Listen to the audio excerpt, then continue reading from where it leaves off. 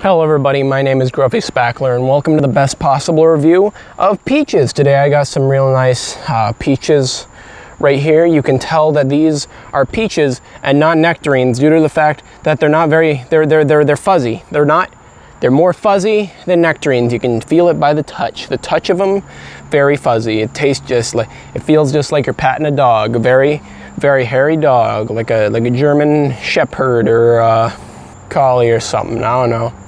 Uh, to, to, I'm going to show you all the various ways in which you can use a peach. Uh, you can eat them.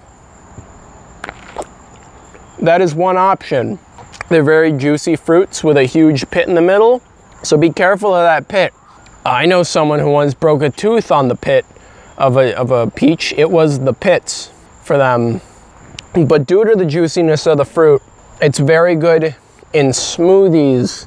So today we're gonna be making a peach smoothie, everyone. I got a blender here and everything. Uh, it's very sweet, very, very, tastes kind of like uh, a plum if you put if you put lemon in it, probably, I don't know. So to make the smoothie, we're gonna cut it, we're gonna cut it in a big circle, in a big circle, and then we just twist. Eh, eh. And the, see the pits right there, we got it out, everyone. So now we just do that, do that. We just cut out this, cut out the pit. I don't know. The pit's gross. I wish they didn't have them. Uh, however, if they didn't have them, we wouldn't, we wouldn't be able to make more peaches. Remember that, everybody. If you ever eaten a fruit and you're like, ew, I don't like the seeds in this. Remember, those are what make it reproduction viable in these fruits. It's like saying, ew, I don't like babies. They're like, without them, we'd be dead. So I'm slowly training myself to not uh, focus on the bugs that are constantly surrounding me due to the fact that I'm uh, cutting up very sweet fruits while outside. So after we get all this, all the, all the pit bits out, all the pit boys, we just chuck them to the side and we put them in the blender. I'm really gonna be the only one who's drinking this this delicious smoothie. I'm, I'm just gonna make one cup. So one, one peach should be enough. So what we do is we add, we add, we add some milk to the peach, just like a bit. I don't know how much, you decide. That looks good, I guess. And we add some uh, vanilla yogurt. I wonder if this is still good. Let's find out. Just add a lot of yogurt. And then we add the health powder. Uh, what, what's in the health powder? Don't ask me, I have no clue, but, but it's healthy. So we just add a bunch of that. And we, and we, we spill the health powder everywhere, obviously. Uh, uh, uh, where's the lid to the blender? Oh, there it is. And now I'll demonstrate why it's important to put the lid on the blender.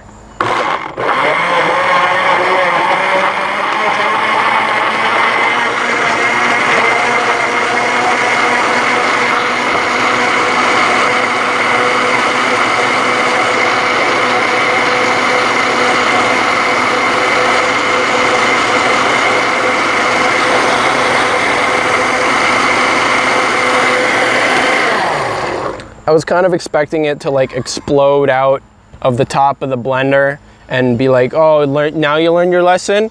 But um, it, it didn't. It didn't do that. So I guess blending smoothies is okay to do without a lid if that is, if there's barely any stuff on top of it. Like, like this is, this is like a cup of liquid. So use a lid if you're if you if you if you're using more than a cup of li liquid. That's the lesson. That's the lesson of the day. And the uh, the health juice made this look pretty nasty.